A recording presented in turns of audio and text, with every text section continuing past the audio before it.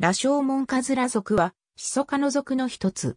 多年草で草で枝があり、地上、または地下を這う。葉は耐性し、円に巨子がある。茎は直立し、花は二世輪性で、茎先、または溶液に少数つく。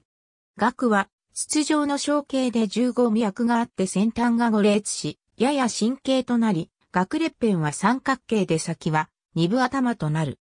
下管は大型で頭部の上半は太い喉部となり、下管開口部は神経で、上唇は短く二列し、下唇は三列する。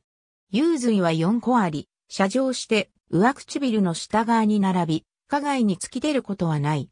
薬は二質で、薬質はほぼ平行。果実は四分化となり、卵形で平滑である。北アメリカと東アジアに7種ほどある。和名、学名は、イストによる。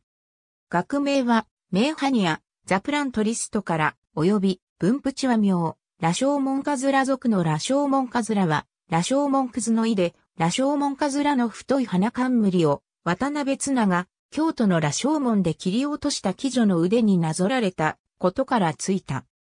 また、俗名、メーハニアは、アメリカ合衆国、フィラデルフィアの植物学者、トーマス・ミーハンの名前にちなんだもので、同じアメリカ合衆国の植物学者、分類学者であるナサニエル・ロード・ブリトンによって1894年に命名記載された。